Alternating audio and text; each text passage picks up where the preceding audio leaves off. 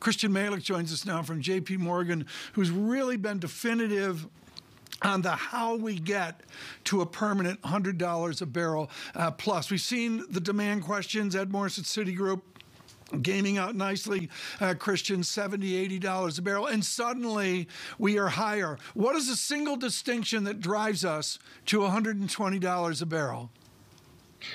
No spare capacity, in short, uh, Tom. I mean, we're seeing a repricing of oil to the marginal barrel, and it's away from OPEC. Um, I know it sounds controversial to say that on a day like OPEC meeting. It's away from OPEC, and it's going back into control of the majors who represent somewhere between 35 to 40 percent of the world's oil, and they're not spending, they're not investing at these levels, uh, which then begs the question: What price will they spend? Will they grow their production um, and reinvest into those long-term projects? I think we're going to need a significantly higher price, which in some ways is potentially what OPEC is trying to do today. They're trying to defend right. not the front end, but the back end. The trying of OPEC, I have the memory of 1986, oil plunging mm. 24% is my quick mathematics. How close is the cartel to a 1986? I think in terms of how close they are, that will all depend on how demand uh, responds to the the current price. And uh, and we know that they're arguably looking for a higher price, potentially closer to where their fiscal break-evens are.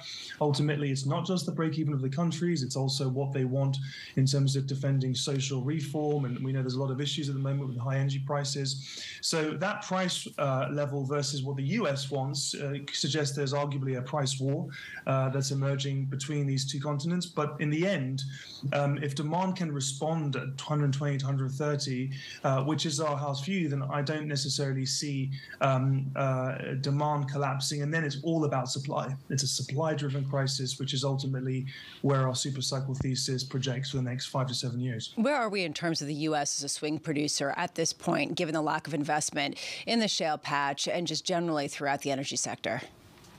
Shale, it's, it's, it's interesting. It's like you've sort it's been dismantled. It's parts of rusted, you put it back together again, it's just not as effective in terms of productivity, in terms of production volumes. And ultimately, um, they've got used to returning cash and getting more popular with Wall Street. So you have to sort of think about what price do they need to cover their, all their capex, all their cash return, as well as a price that can necessarily see much bigger volumes of growth with all the money in the world, and that's much higher. That's closer to eighty to ninety dollars. So we're not seeing as much volume growth this year, closer to 700, 800,000 barrels, similar to next year, and I think that's the key.